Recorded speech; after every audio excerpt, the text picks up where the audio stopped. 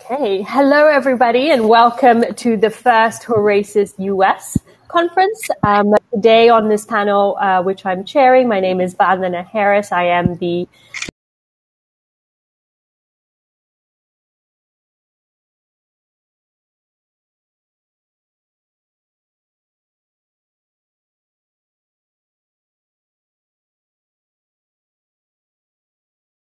um, given the passing of the recent nearly $2 trillion um, stimulus package um, by the Biden administration. Um, on the panel today, I have the honor um, to introduce you five distinguished panelists. Um, and in no, no particular order, I will introduce them briefly and then let them say a little bit about themselves as we proceed. first, we have um, David Drake. He is the founder of um, LT, LDJ Capital. Sorry, I got that wrong. Um, and um, with a focus on family offices, um, and they have a global uh, footprint around the goal of um, optimization of wealth. Um, next is um, the treasurer Zach Conine. He's the Nevada State Treasurer, um, currently acting, appointed in 2019, I believe.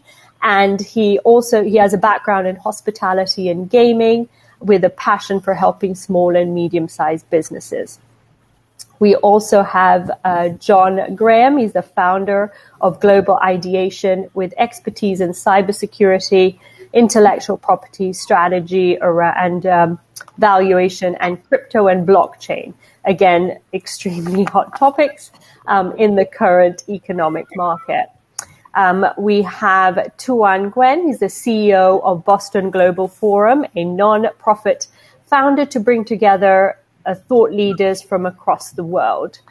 And finally, but not least, we have Jason Grumet, who is the founder and president of the Bipartisan Policy Center, again, a nonprofit think tank which is actively promoting bipartisan solutions um, to Amer- Amer- some of America's most difficult uh, policy considerations.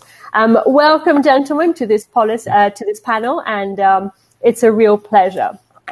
Um, I wanted to start, um, and of course, you know, as you speak, please introduce a little bit more, and it's particularly if I've missed a, a really important fact around what you do.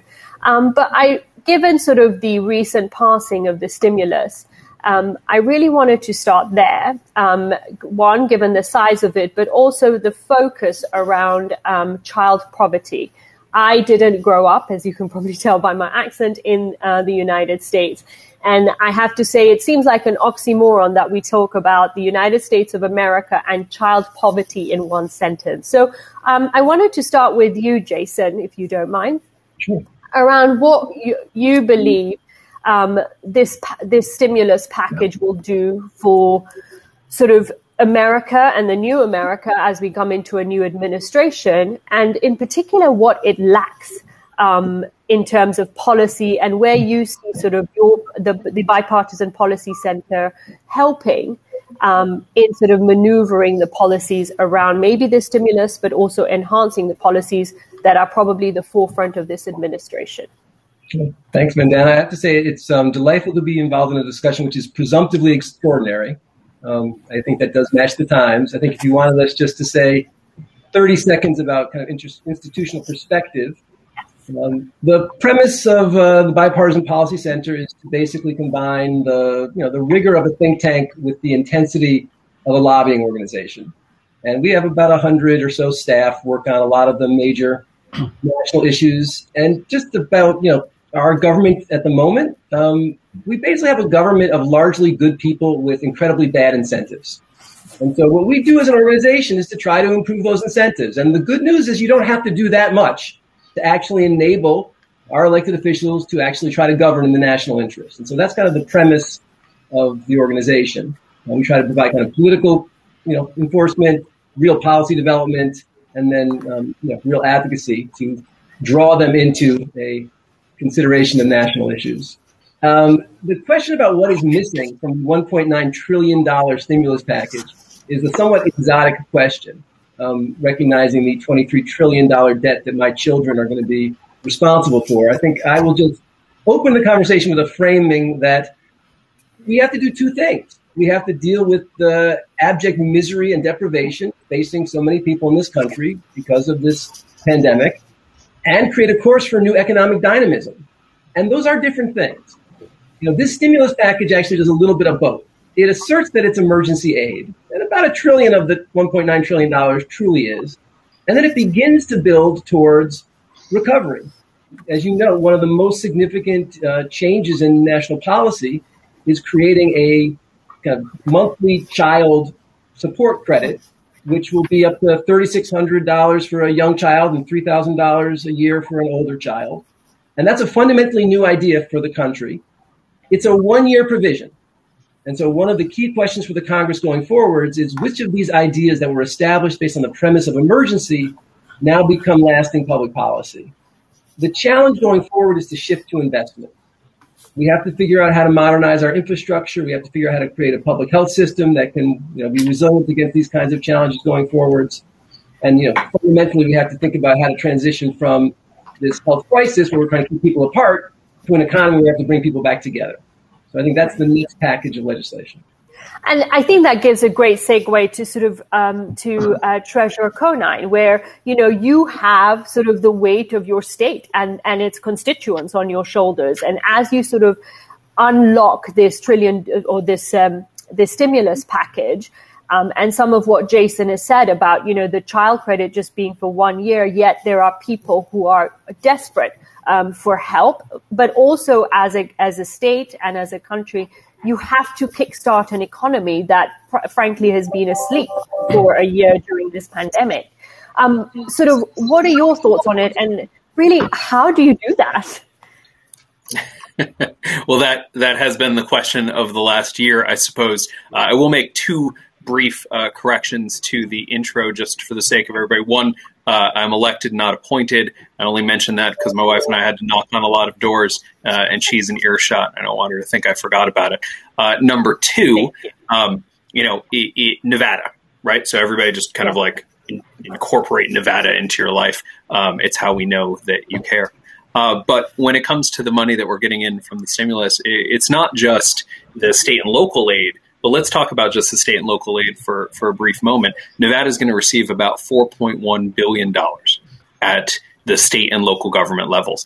To scope that, our annual budget is about $4.2 billion, right? So once you take out Medicaid and the other pass-throughs, mm-hmm. it's a big, big, big chunk of money. And I think from a state level, our perspective is how do we make sure that we deal with those initial uh, responses, right? How do we make sure we're getting shots in arms? How do we make sure that people are getting back to work, that our unemployment system and various other systems that, frankly, all over the country uh, have proven to be, you know, inept when it comes to the actual challenge in front of us? How do we rebuild those systems? But then how do we actually train people uh, and expand on? You know, it was one year ago yesterday when the governor shut down the Las Vegas Strip and the gaming industry in Nevada. That was a massive shock to our system, uh, put a lot of people on the unemployment rolls, and we've been working since then to try and make sure we're in a better place. You mentioned the child tax credit. That's really going to help here in Nevada, right? We've got more than 40% of students in our largest county are on free and reduced lunch, which means they're under uh, a level of poverty that, you know, should be concerning. Um, and we're hopeful that that credit as well as other things that are in this bill and other things we're going to be able to enact at the state level and help to move that. You know, it's a generationally uh, changing amount of money. And frankly, let's hope that we don't have this kind of money flowing into states in the future because it almost always comes with a lot of people dying right? And so, since this is going to happen, since it has happened, I think a lot of the responsibility falls on state and local leaders to make sure that the money is executed properly, right? Because Congress sets up uh, the right? And the bill has some really broad guidance in it. The Treasury Secretary and the, the good folks at the Fed Treasury are going to put out rules about how that money can be used. But it's going to come down to state and local budget officers, to treasurers around the country, to governors around the country to figure out how exactly that money gets on the street and to make sure that it goes for things that can actually solve long term problems as opposed to some sort of short term or political need. And I think Jason hit it right, right? I mean, government is full of uh, well meaning individuals who are poorly incentivized. And I think this is an excellent, I hope I paraphrased it correctly, Jason, um, but I think this is an excellent time. Um, to see who's got the chops uh, and who is going to take uh, the efforts to make sure that that money is spent effectively. Right.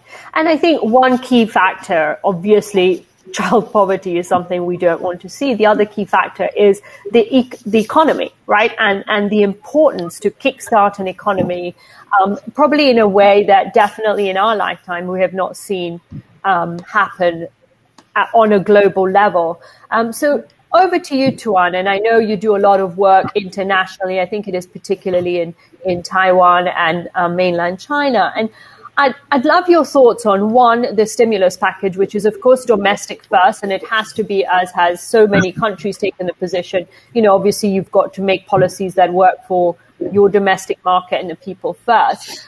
What effect do you see in terms of this administration's need for policies across the globe, but also in terms of China, which is, you know, a topic of conversation um, as we move from the last administration in a very different manner to this administration?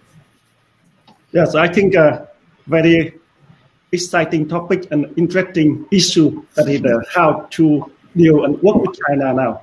I think that China growth and uh, price is uh, very good for the world, but we need to uh, manage and uh, together to how to make the world peace, security, and better that is the problem. And I think the very good for us that is that we need to ally with alliance and to make norm standards for every country needs respect and work with and apply with news and new and norms and standards as uh, we are uh, last year uh, we Boston Global Forum and uh, World Leadership Alliance Club de Madrid and we are collaborate to announce uh, the social contract for the AI Age.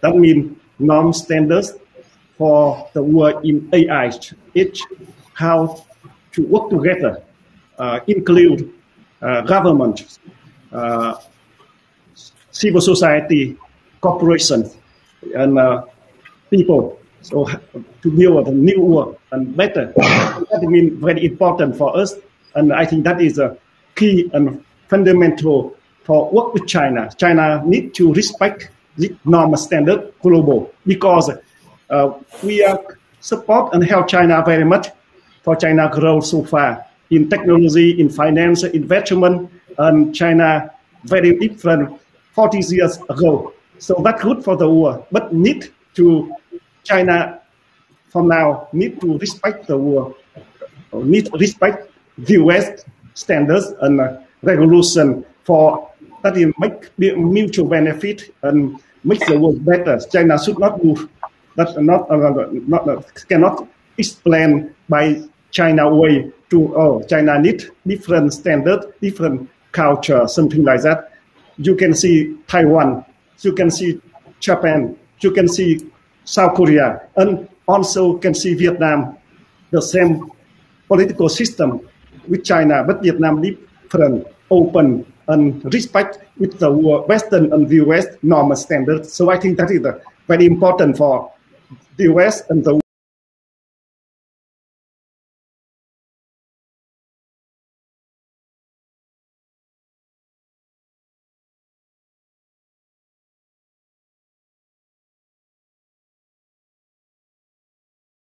importance really um, of technology cyber from cybersecurity to just you know what what happens in the future in terms of both protecting um, the United States, um, but also enhancing um, the offerings of the United States across the globe and as, as a global leader in economies. Um, John, over to you. In terms of, I know we've spoken before, and you have some really interesting ideas as to how how do we make that leap, and how do we use technology in a way um, to enhance not only policies but make them maybe fairer in terms of the the scope that they have um, and the sort of the socio-economic balance that they have going forward. Okay, well, um,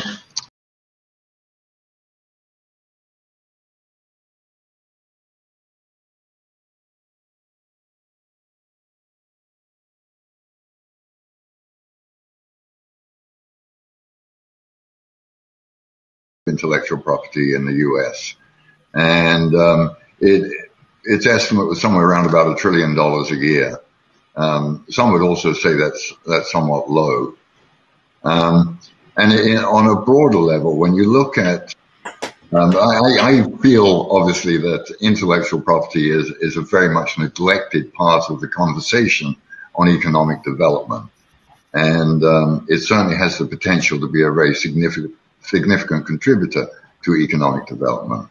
Um, for one thing, look at the economic discontinuity. When you look at intellectual assets, they account for mm, somewhere around about a little over 80% of organizational value, roughly you know, $60 trillion or so. But when you look at the actual trade in intellectual assets, it accounts for less than 1% of global trade, about a mere 365 billion a year. So obviously there's an enormous economic discontinuity in the fact that this asset class accounts for the bulk of organizational value, but only a, a minuscule portion of global trade. And that's what we've tried to address, obviously. And um, we, don't need to go into all the details, but um, we already mentioned that we're losing about a trillion in, in IP theft every year. Um, another major loss is the fact that people are not able to market their technology um, when it's still secret. This is uh, one of the biggest challenges of intellectual property and how you manage it and how you protect it, but how you market it at the same time. And we're addressing that with a, a free service where you can actually register intellectual property. And through a, a recently developed kind of encryption called fully homomorphic encryption, you can keep these documents encrypted. We can't read them. The only person who could read it is the original contributor um, but people can search for keywords.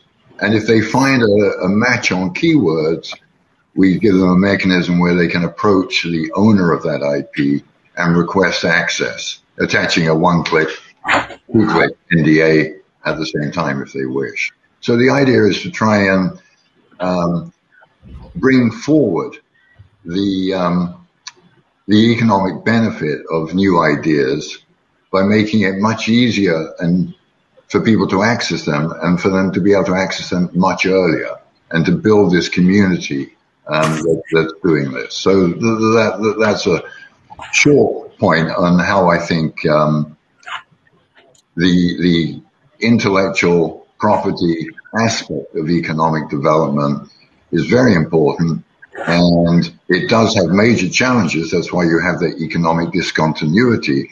But I believe all of those challenges can be addressed and result in, in significant economic benefit um, for every country. And thank you, John. And a lot of this has to do with obviously partnerships between the public and the private sector. Um, and in terms of sort of moving forward, but also an understanding um, from both the asset class, but also from the leakage um, that you currently described that goes into tri- trillions of dollars.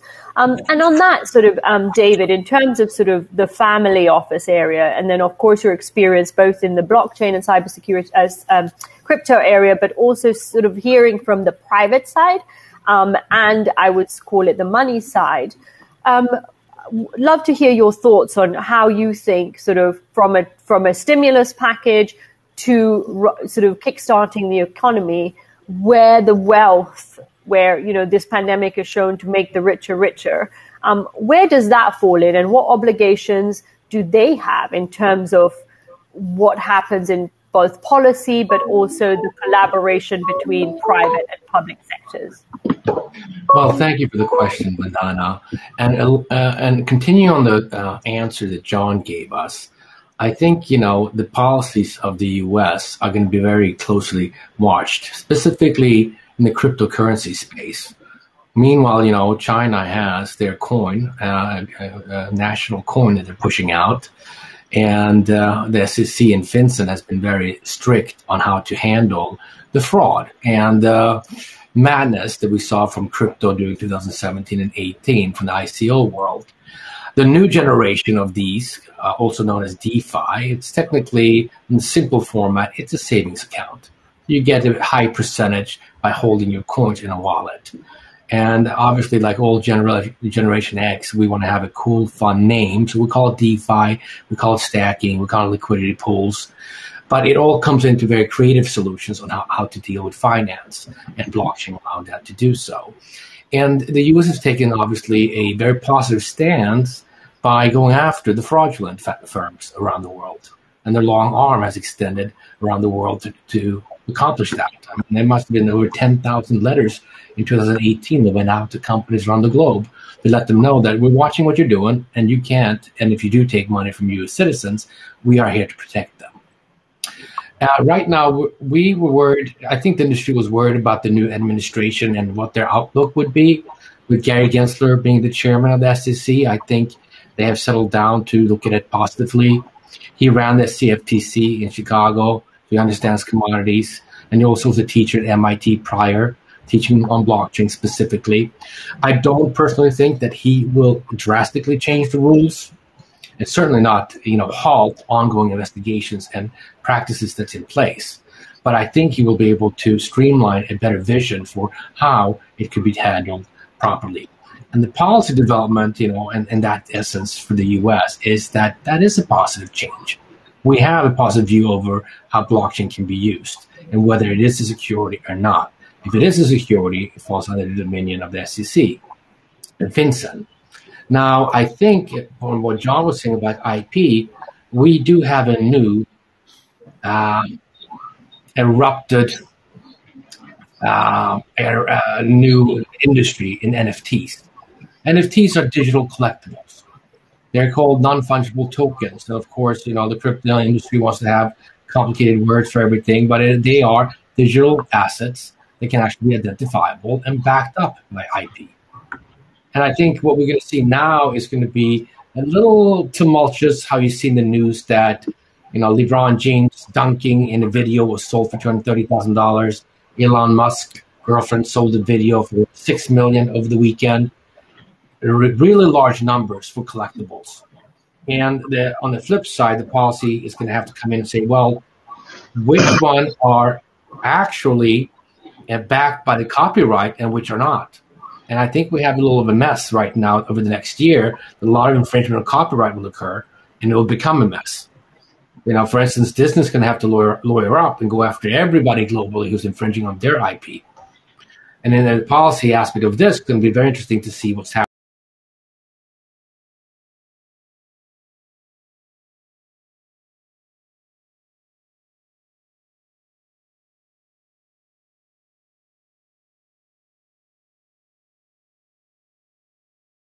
FINRA. And a couple letters came out just recently where they're saying, well, it depends. It's a security falls on our domain if it uh, adheres to the Howey Act, and this is security versus not. So I'm looking at the the policies from that aspect, but also normalcy with my family office businesses abroad. We have offices in Ukraine, in Kiev, in Dubai, in Hong Kong. And I like to see the policies develop that we can start doing business with China with Russia coming back to normalcy that we didn't have before.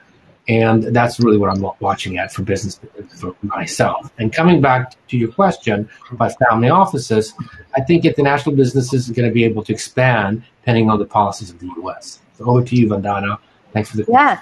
So I really love to hear from you, Zach. And and in terms of you know, as the the state treasurer, what what are your first thoughts when we talk about um, crypto and we talk about um, you know the, the the dumping of all these, but um, also in terms of how that plays into the states, either from a taxation perspective, you know, um, from the element of Vegas in a different form.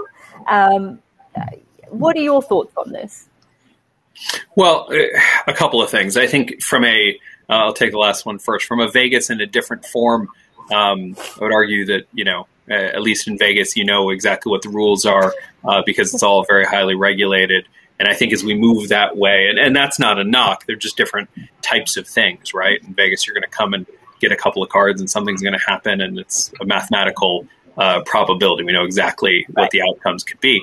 I think in the world of crypto, there's a, a higher range of probabilities, and that is exciting for some people. Uh, it's less exciting from a government investment perspective, right? So I would say government is generally really risk adverse, right? The downside of early adoption often outweighs potential upside.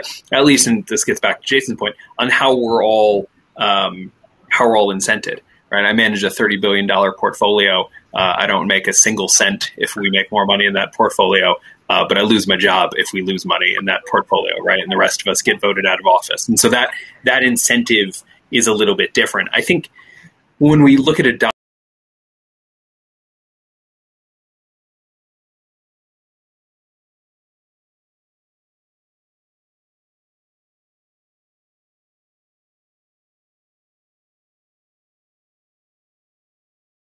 that Congress is generally not made up of tech forward people, right? And so they have to be brought there slowly and say, this is okay. And then here's another uh, way that we can use it. And this is okay. And see how this is safe. Um, and, and, we move there probably more slowly than we should uh, as a country or, or as a state. Um, but I think that's historically how we've gotten there, right? Progress doesn't get made as, as quickly as perhaps it should. With that said, I think it's important that we set up um, tax schemas that, that treat assets like assets, treat speculation like speculation, and we try to work with the industry to make sure that those uh, schemas are fair and consistent. I mean, I think that's the other concern that you're going to see is that different states are treating these assets in mm-hmm. different ways, whether it's what happens to them when they become unclaimed, what happens to them from a mm-hmm. tax perspective when they transfer between parties, right? Is it is it an asset or is it a currency?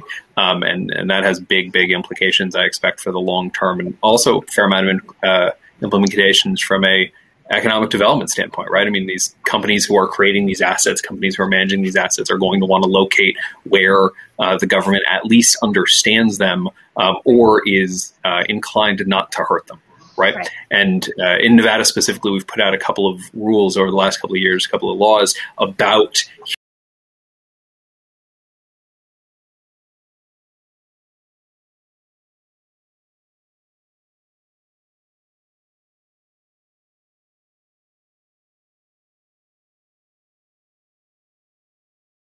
to allow local governments to be able to keep records on the blockchain. Right. So now in Washoe County, which is where Reno is, in case anyone would like to visit, it's beautiful stuff here. Uh, in Washoe County, they keep uh, marriage records on the blockchain. Right? right. But that was a big deal. It's not I know in this conversation that's not a big deal. That's like the world's easiest use case. Uh, but but in, in Nevada, it was a big deal, um, and that's bringing companies in to do it we might have just added another agenda item on Jason's already full plate for bipartisan policy and adding the importance of IP and, and technology in, in sort of the future. Um, moving on, and I think we could have an entire hour really on this conversation, and it's, it's super interesting, even for me from a peripheral perspective. Um, you know, and a legal perspective actually around the safety of blockchain, etc. But we moving on to sort of the policies of this administration, and really given that probably for the last year, um, from a global perspective, but also from a domestic perspective, not much in terms of policy happened. Um, so, what, Jason, love to hear sort of what what are you talking about? Um, what are the sort of three hot topics that uh, people care about on a bipartisan level? And is this administration focusing on that, or would you like it to focus on things that it's not currently focusing on? Well, so look, I think the, the last 10 minutes do really reveal the reality of the two economies that our government is dealing with, right? We have some people who are spending literally millions of dollars on a TikTok video and others who are making $7.25 an hour. Right? So, you know, our government has to find a way to engage both those fundamentally different realities. Know, I think in terms of the, the key policy agenda, you know, we are still in pandemic recovery, right? The, the you know, CDC, our you know top health folks are still basically telling people to keep apart. And there's an inflection point, hopefully very soon, when the argument is going to be, let's get back together and let's animate that, you know, with not just a tremendous amount of money, but structures to spend that money, right? So, you know, there is a lot of money pulsing through the system. You know, as was um, suggested, we're not used to this, right? We don't really have mechanisms in place to make sure these resources are being used well. It really does rely on public servants at the state and local level to make those choices. So, you know, in terms of going forward, infrastructure, infrastructure, infrastructure, right? This is the best idea that never happens. It's one see after action report from you know, the Obama presidency, the Trump presidency, everyone said what they should have done first was infrastructure. Because this is one idea that has the, you know, kind of general history and genetics of being a collaborative exercise. So, you know, that is where the Congress is now going to be focused. Anybody who wants anything now is calling it infrastructure. So the first question is, you know, what is the scope of this legislation? Is it going to be the traditional highways and water infrastructure? You know, we think we're going to need to add broadband. You know, one of the things that this pandemic has um, revealed is that broadband is not a, uh, you know, opportunity for watching videos. It is a fundamental necessity for being part of the 21st century. And so I think there'll be a big focus on broadband. And then energy and climate policy, which is a, you know, key focus for the world and the Biden administration. But there's a reality check right now which is coming out of a global pandemic, is generally not a great time to grow the economy with big new taxes or major regulatory structures. So I think you know our instinct is that you are going to see this infrastructure metaphor basically try to provide kind of the foundation for decarbonization. And there's quite a bit of bipartisan support around innovation. There's generally a lot of support about having the government spend money rather than consumers and citizens. And so you know, we think it's really going to be kind of an infrastructure lane that's going to dominate the debate. And then we're going to have big conversations about immigration and higher education and a lot of other issues, which I think, had there not been a pandemic, would have been on the first two year agenda. I think because of the pandemic, they're probably on the third and fourth year agenda of a Biden administration. So, three words you use, all eyes, right? Impact, innovation, um, and infrastructure. That that's the focus. So taking it then, uh, obviously America being such a key player in the world, the global economy, where I'm assuming the focus is also going to be around, uh, to to a, to a broader extent, um, infrastructure, innovation. Um, and impact as we talk about sort of just the discrepancies that have happened um, throughout this pandemic. Tuan, over sort of where do you see this policy affecting, um, or the policies of the US affecting the Asian market, for example?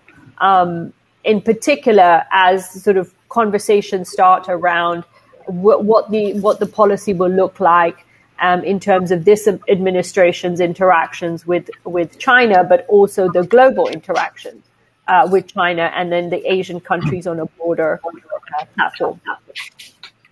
Yeah, I think the first study the for inside the US uh, so the three things. The first study the faster we do faster where we many things we do slow. Uh, as I and uh, Larry Summer chat at dinner, he topo bridge from Harvard to the, the Harvard Business School and Harvard Kennedy School only repair for three years. Too long. That is that many things. We, the second, we need to do smarter because we have AI now, AI. So we apply AI solution, AI technology and digital to make more that is the that smarter politics, society, and economy and business. The third, that is the more uh, effective as uh, Elon Musk do very low cost for many projects. So we can do three things for inside the US. By this inside three things, ASEAN market.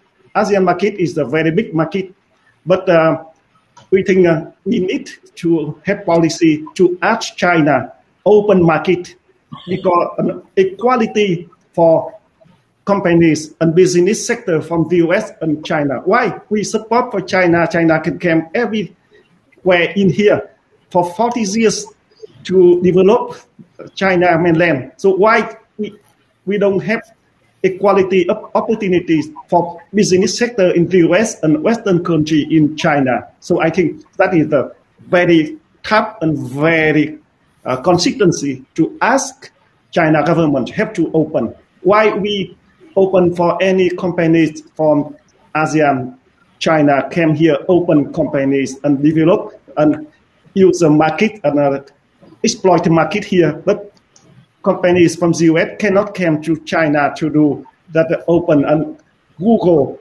Facebook, and uh, YouTube, and many companies very, very tough and very difficult in China. Why? With very inequality. That is the this policy have to do very much for that, and also that is uh, we have to protect uh, IP because uh, very important. Uh, we we very very much lose in that is technology and IP from the US to market, and that is a big problem. We have to show now not only tax. Uh, President Donald Trump very much do tax, but I think now more we should do more very. This is a time for the US and China very honest and directly to talk.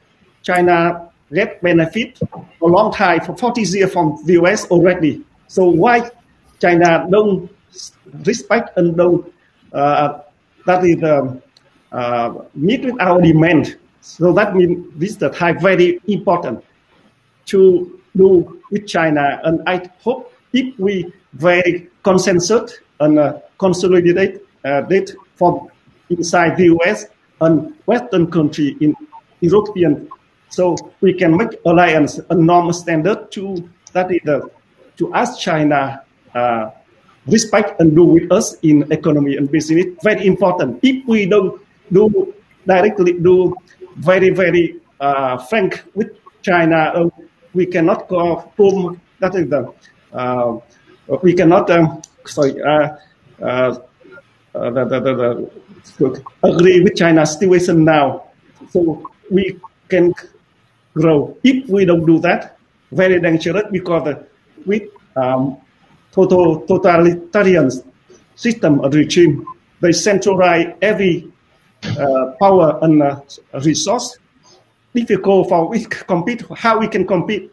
So that means I think that your, your question is very important and I like a question. So I think nice. We respect China and uh, support for China growth and rise, but China respect us and for equality in business market now.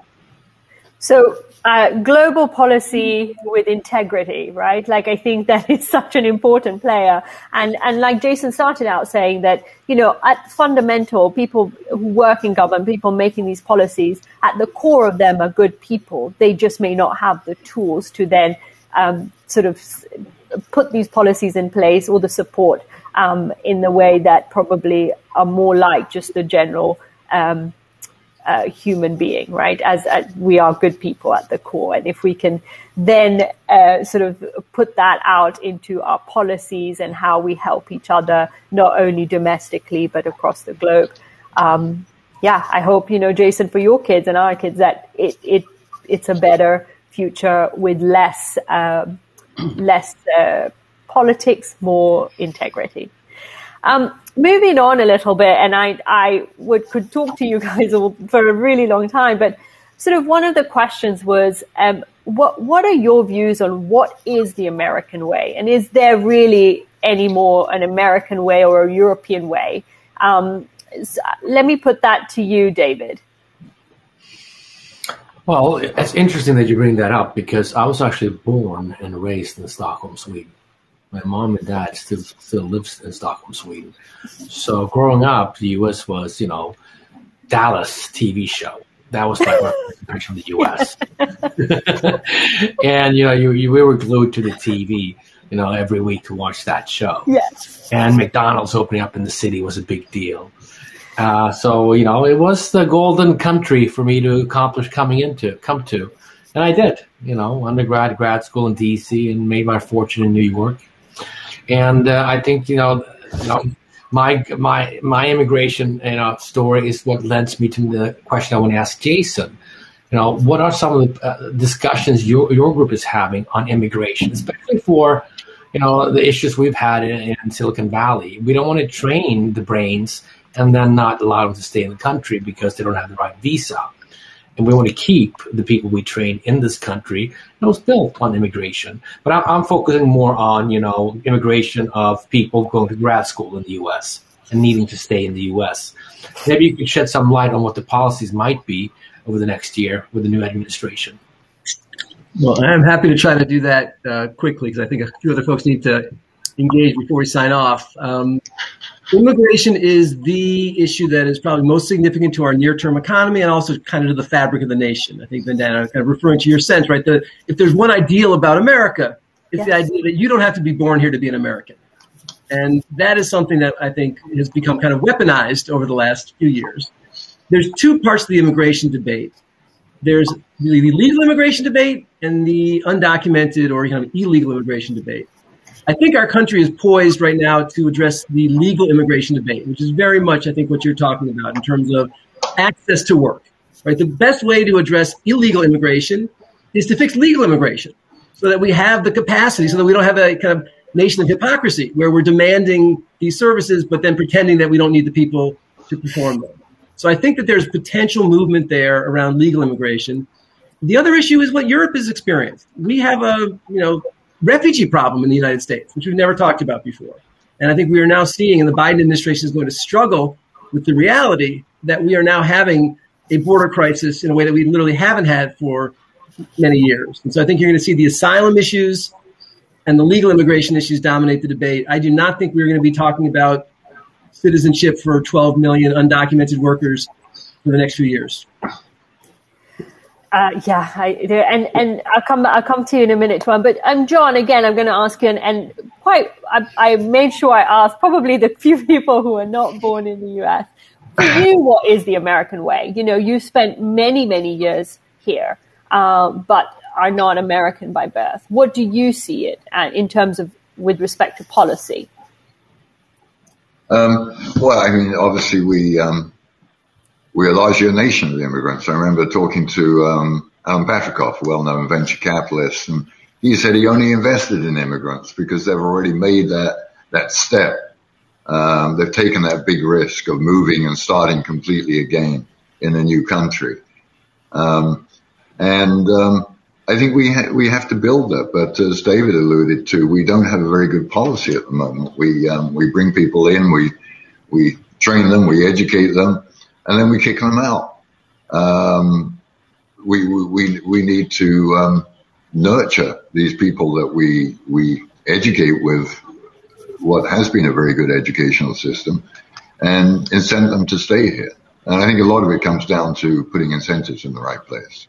And of course, you know, part of that is, is the knowledge they bring with them, particularly um, researchers. And um, some countries now are openly shopping um, to to to basically take not just our ideas, our innovation, but the people who generate them as well. Yeah.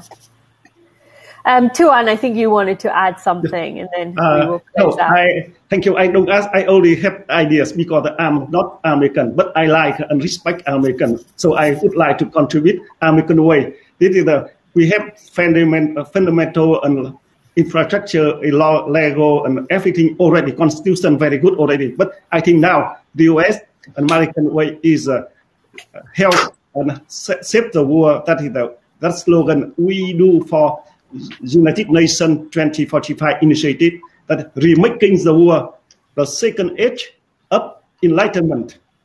That American responsibility is that now we remaking the world to make the world better and we have very glory responsibility for the world today. That is my idea. Great.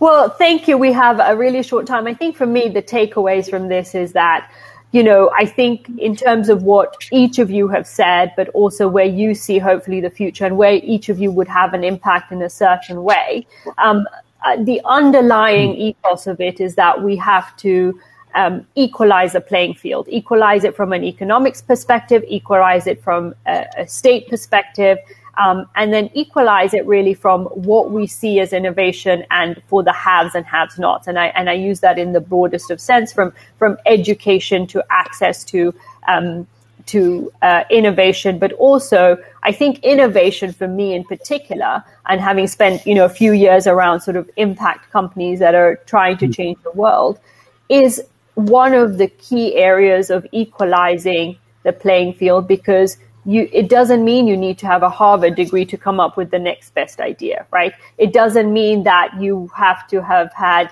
um, a very privileged upbringing to to come up with the next best idea. So um, I have a lot of hope um, for not only for America but as a world, and I say that as I'm transitioning out and heading back to Europe. But um, it is such an important economy, and um, it's great that there's got people like you at the realm of it. So thank you all very very much for this, um, and I look forward to staying in touch with each of you.